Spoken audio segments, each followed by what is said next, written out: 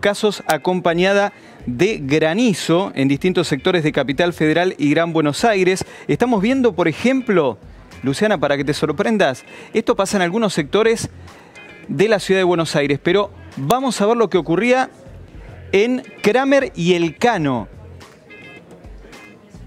Bueno, y acá estamos viendo anegamientos en distintas líneas de subte. Una verdadera pileta ingresar a esta estación de la línea B de subterráneos. En estos momentos hay demoras en la línea C, la línea B, que está circulando con un servicio reducido. Este, ¿qué, ¿Qué estación está, Juan Pablo? Bueno, hubo inundaciones en la línea B en las estaciones Dorrego y Federico Lacroce. Es un río eso. Es un verdadero río, Luciana.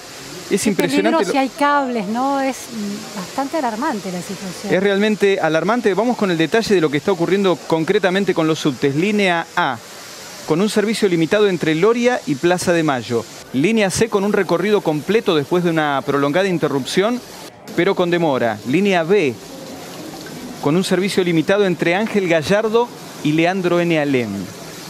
Tremendo ¿eh? lo que estamos viendo a través de estas imágenes, lo que ocurría hace pocos minutos nada más. Insistimos, también se vieron afectados los trenes por anegamiento de vías. Este es el caso del tren Roca, tres ramales, Ezeiza, Alejandro Korn y Bosques, con retrasos por anegamientos de vías en distintos sectores. Y vamos a ver esto, es un paso bajo nivel en Temperley. Parece una catarata, ¿no? Parecen las cataratas del Niágara, Sí. ¿no? Es impresionante, vos fíjate hasta dónde llegó el nivel de agua, prácticamente sin dejar un espacio en ese túnel, en ese paso bajo nivel. O sea, en ese túnel deberían pasar autos. Habitualmente, o se supone que la obra está preparada para que aún con fuertes lluvias se pueda desagotar y puedan pasar los vehículos, pero evidentemente algo del sistema del drenaje, más la gran cantidad de precipitación caída, bueno, conspiraron contra este paso bajo nivel. ¿Sabés? Eh, cayeron 45 milímetros de agua, se estima, en una hora. ¿eh? Prácticamente la mitad de lo que puede caer en un mes, en una hora.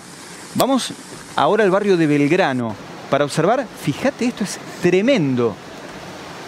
¿Qué calle es? ¿Tenés idea? Esto es el Cano y Kramer, pleno barrio de Belgrano. Que es una zona que históricamente, no, no exactamente esa cuadra, digo, no sé, pero Ahí suele Kramer. inundarse. Me acuerdo de inundaciones de hace 15 años que tapaban todo también, en el mismo lugar. Es impresionante, eso es justo el Cano y Kramer donde hay un obrador muy grande, Sí, sí. donde están haciendo eh, trabajos en el lugar. Bueno, sin caer en la autorreferencia, pero es inevitable. Estuve ahí hace, no sé, 40 minutos y me salvé de casualidad. ¿eh? Seguí rumbo al norte y el agua no me agarró, pero sí el granizo, ¿eh? porque el granizo afectó distintos sectores de la zona norte de la ciudad de Buenos Aires.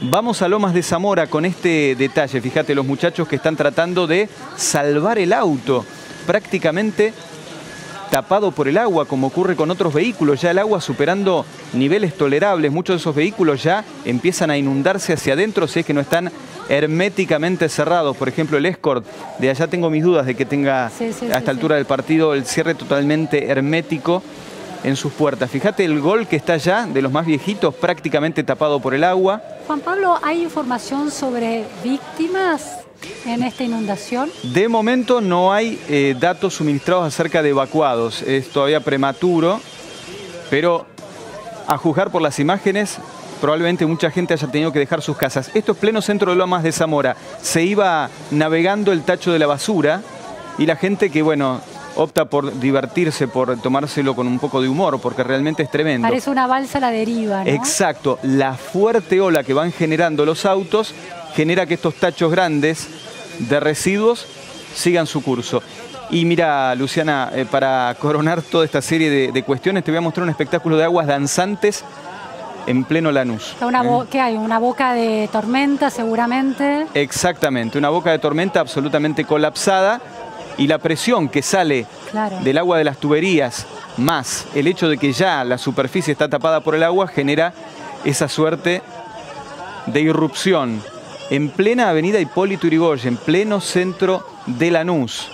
Ahora mermó un poco la precipitación, empieza a drenar el agua. De hecho, eh, por ejemplo, una autopista que estuvo con anegamiento, la autopista de Lepiane a la altura de Mozart, mano al centro, ya quedó habilitada. También hubo algunos anegamientos en la General Paz, a la altura de Avenida del Libertador, anegamientos leves, sin interrupción total de tránsito, pero estas imágenes que realmente hablan por sí solas de la gran área que fue afectada por esta tormenta, ¿eh? en zona sur, zona norte de la ciudad de Buenos Aires, tal como recién les mostrábamos.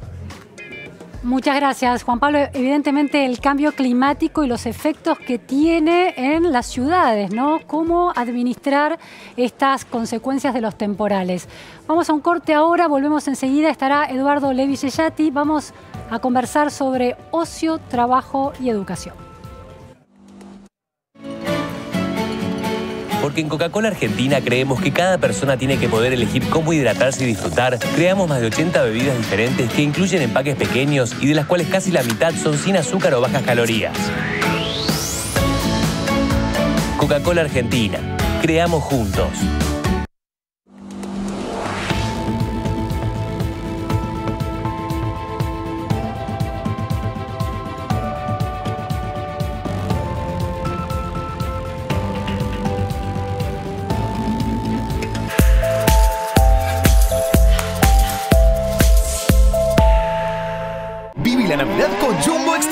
Del viernes al domingo, 80% de descuento en la segunda unidad de pan dulce, budines, turrones y confituras navideñas. 3x2 en